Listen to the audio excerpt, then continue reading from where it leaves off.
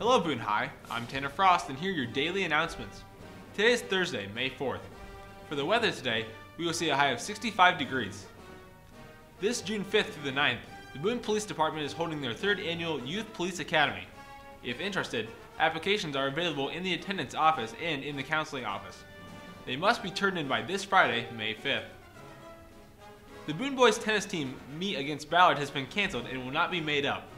The boys tennis meet against St. Edmond has also been postponed to Monday, May 8th. Make sure to go cheer on the girls and boys track teams tonight as they head to Winterset for the Raccoon River Conference meet. That's all for today. Please check back tomorrow for your daily announcements. They can be seen on the TV seven times an hour and at BooneTV.com. This has been Tanner Frost from Boone TV, and may the 4th be with you, Boone High.